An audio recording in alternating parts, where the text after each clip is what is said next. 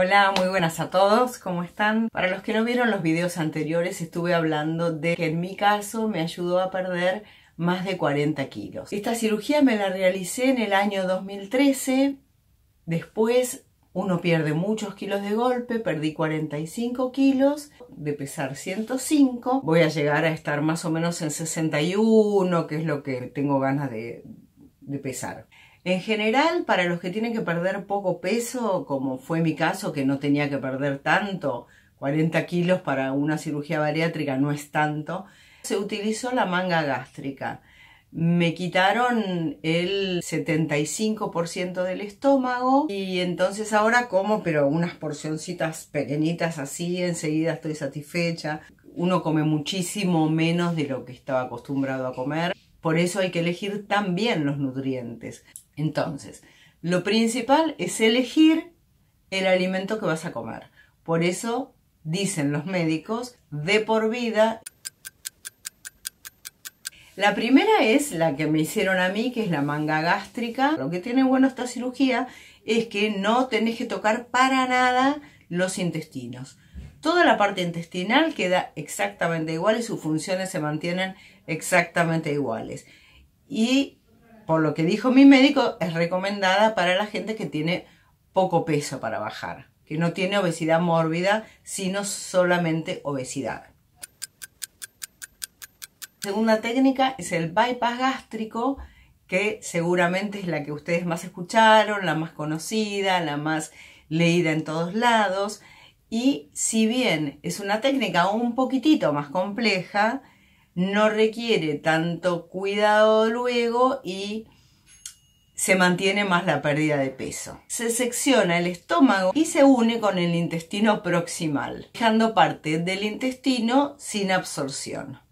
Esta cirugía es muy sencilla hoy en día porque se realiza eh, por vía laparoscópica, entonces no requiere demasiada hospitalización y en el postoperatorio también hay que ser muy cuidadoso, porque una vez que te hiciste la cirugía, enseguida bajas de peso, porque ya con, la, con el, régimen alimentario que seguís al principio, ya has bajado de peso. Cuando llegas, yo por ejemplo, llegué a, al quirófano con 10 kilos menos, ya antes de operarme. Así que ya eso te incentiva para ver que los logros son importantes. Y luego tenés que mantenerte, por supuesto, sin comer enseguida, tenés que estar unos días sin comer y incorporando de a poquito líquidos y después vas incorporando a la semana o a las dos semanas algo de comida, bueno, muy de a poco. Y no podés tomar gaseosa, te recomiendan que no se beba en el mismo momento de la comida, bueno, todas esas son indicaciones que te dan luego los mismos médicos, el equipo médico. Y la tercera técnica, que a lo mejor no es tan escuchada, no es tan conocida, es el balón intragástrico. Se introduce un globo dentro del estómago para reducir la saciedad. Este globo reduce el espacio, por lo tanto el alimento que penetra en el estómago es muchísimo menos. Este es un procedimiento transitorio, luego se quita y es para personas que tienen poco peso para bajar, no es para obesidad mórbida.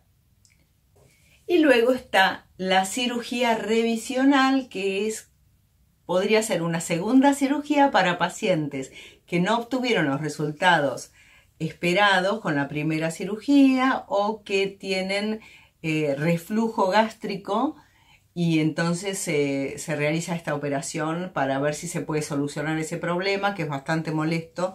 Yo lo tuve, lo he padecido bastante el reflujo gástrico y, bueno, entonces se hace esta cirugía y para ajustar un poco el tema de los resultados postoperatorios.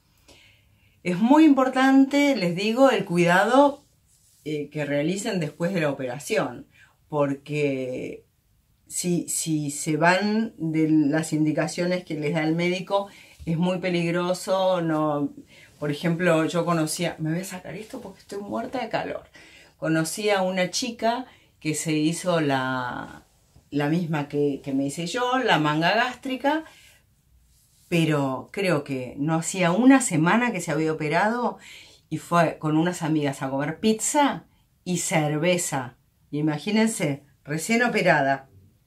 Tenéis todo fresquito y todos los ganchos puestos. Y comes pizza con cerveza. Eh, bueno, la operación es maravillosa. Les hablé la otra vez de todo. Ya creo que no quedaron ninguna dudas. Así que cualquier cosa me ponen abajo su comentario, sus preguntas, todo lo que quieran saber yo les contesto. Y como les dije la otra vez, bajar 40 kilos es maravilloso, te cambia la vida, te cambia todo. Podés empezar a hacer actividades que nunca hiciste. Yo volví a hacer danza, que hacía años que no hacía danza, desde la adolescencia prácticamente. Te acostumbras a alimentarte de otra manera, de una manera mucho más sana. Así que estoy súper contenta, se los recomiendo a todos. Y si quieren se suscriben, me encantaría que se suscribieran. Yo próximamente voy a poner videos también de de todo lo que tiene que ver con la vida. La idea de este canal es también hablar un poco de la pareja, del amor, más que nada para las mujeres como yo que tenemos más de 50 años. Bastante bien estoy, miren. Bastante, bastante bien, no tengo muchas arrugas, así que me cuido bastante. Les mando un beso a todos y nos vemos muy pronto. Chao.